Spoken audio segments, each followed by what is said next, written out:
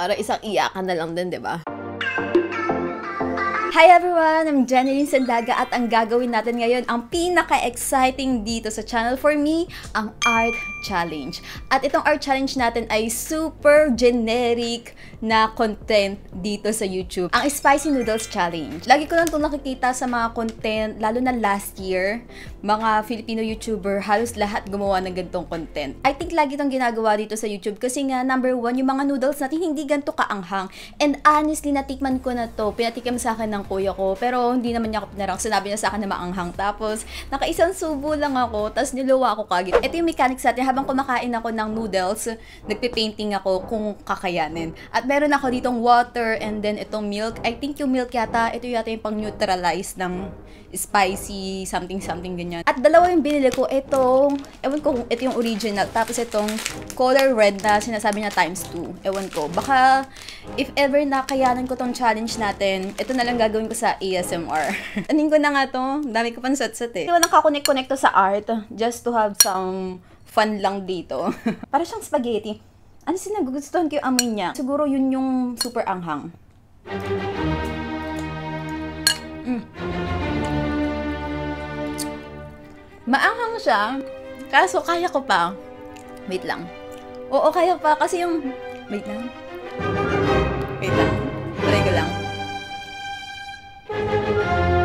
Na siya sa... Namanhid yung buong bibig ko. Oo, ay lang ako. May onting duha-duha lang. Kaya ko. Wait lang. Inom lang ako ng milk. Titigan ko kung makakancel niya yung anghang. Parang wala effect.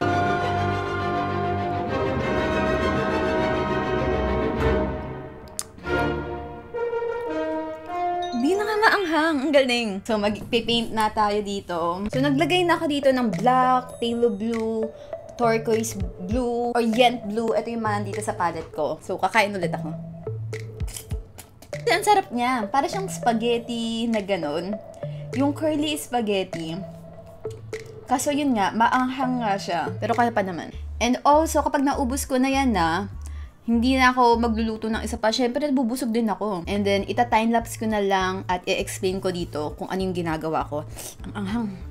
Pagkatapos niyan ay Orient Blue. Para may pag-gradient siya dyan. Next color ay itong Phthalo Blue. Lalagay ko siya sa gilid. Kasi parang pa-triangle yung sa galaxy natin dito. And also itong retarder na nabili ko, 80 pesos lang to. Nag-seal siya kasi nga hindi binibili. Tsaka lumang-luma na rin.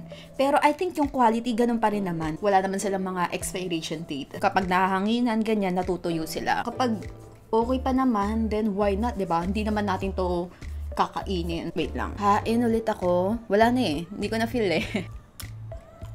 Masarap siya sa unang mila, ganyan. Pero kapag nachew mo na siya na nachew, doon na talaga umaanghang. At gagamit ako ng fluffy brush at ito ay makeup brush. Because why not, diba? Para i-blend ko yan. Pa-circle-circle lang yung motion ko dyan. Dahil, dahil gumamit ako ng retarder, hindi kagad natuyo yung acrylic. And then, dito na tayo sa face niya. Ito ay white, flesh, pink, yellow ochre, burnt umber, at color permanent red. At dito sa acrylic, hindi na ako nagpe-premix kasi nga, mabilis kasi matuyo. Wait lang, nakalimutan ko na. May challenge pala tayong ginagawa dito.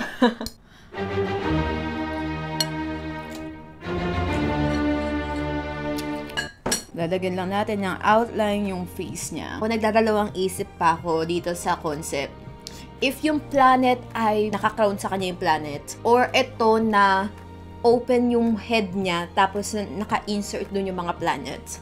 So, yun yun lang yung ginawa ko. Ang tagal kong inisip tong painting na to. Ah.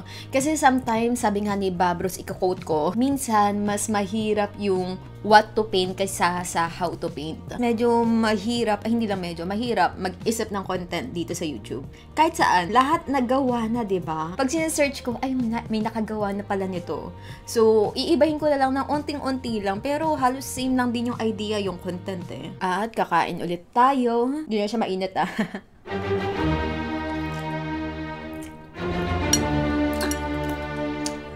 feel muna natin yung anghang. And sa skin na muna tayo, sa face niya. Tapos yun na yung first layer ng face niya.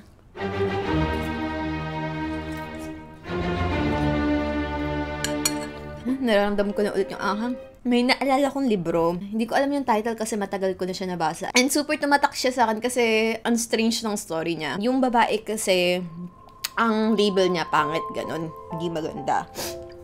Oh my God, naiyak ako. Sabi ko, kaya-kayanin ko eh. Pero I think kaya, kaya ko nga siya ubusin. Tapos, may parang gwapo yata yun na something na Prince Charming. Lagi niya nakikita yung babae na umiiyak. Lagi niya nakikita sa window kapag daw dumadaan siya doon. So, ang inisip ng lalaki, lalagi siyang minamaltrato, gin, laging pinapagalitan, kinukot siya, kaya lagi siyang umiiyak.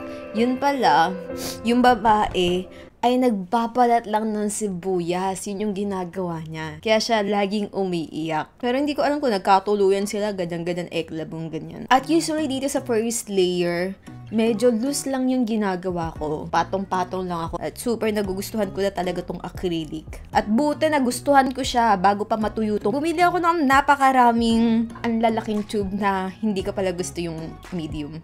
Pero yun nga, naniniwala ako sa sarili ko na kakayanin ko, ganun. you have to trust yourself, ba? Na kaya mong gawin yun. Kaya dapat mong papalakasin yung sarili mo. Have confidence. Lagi kong minimension yan. Redundant na ako. And I think nakakakalahati na tayo dito.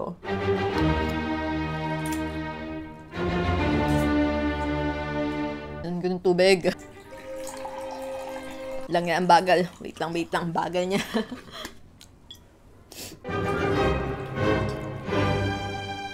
Wala akong maisip na kwento ngayon. Naalala ko yung ano eh, yung anghang. And I think uubusin ko na to kasi medyo naiinis na ako na paputol-putol yung ginagawa ko na painting, painting, ganun ginagawa ko. So, ubusin natin to. At saka, unti na naman siya eh. Kaya ko na to. unti na lang din yung tubig ko. Tatabad lang bumaba. And also, don't forget to like this video to support this channel. At kung bago ka pa lang dito, subscribe ka na at tap mo na rin yung bell to get notified. Natakot tuloy ako sa times 2.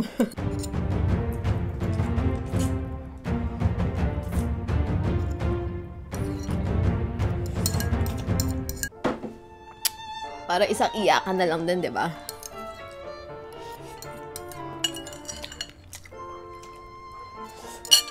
yung busog na busog ka na sa tubig, pero kailangan mo pa rin kasi nga ang anghang. Tara na tapusin na natin to. So, ipagpapatuloy na natin itong painting at hindi na ako kakain ng noodles ah. Itong painting na ginawa ko kasi ay more or less 5 hours. Eh, hindi ko naman kayang kumain ng 5 hours ng noodles, yun ang kinakain, di ba? Hindi ko kayang patagalin yun. Baka super challenge na yun for me. Mga 5 minutes nga lang, tapos na ako kumain eh. Itong painting ko, di ba nga na-mention ko sa inyo na super tagal kong inisip yung concept dito at ang tagal na tenga nito, I think mga oh, almost one month yata. Hindi ako sure or more pa doon. Kasi may concept na ako na sketch ko na pero yung color hindi ko pa alam. Sa mga past video ko, sa mga past painting, for me, paulit-ulit yung color. At ngayon, gusto kong gumawa ng something different. Kaya sa una, ang pet ko sana ay parang super warm yung skin tone, mga ma-orange, ganyan. Pero medyo na-bored nga ako doon. Kaya nagmatapang ako. Be brave na lang na nilagyan ko ng dark colors yung around the eyes, parang eyeshadow, ganun. Noong una, medyo kabado pa akong gawin yon kasi nga, hindi ko pa nagagawa. Pero sa akin, yung point ko dito, yung goal ko dito, to do things na hindi ko pa nagagawa before. At yung mga colors na ginamit ko dito sa painting na to, yung blue at may nilagyan ko ng onting violet para dun sa background na galaxy. Tapos yung hair niya ay color orange kasi yung blue, ang complementary color nun ay yung orange para may harmony pa rin tong painting. Mas okay at mas mapapadali yung pagpili nyo ng color kapag ibibase nyo dun sa color wheel. At pinost ko siya sa Instagram yung VIP ko.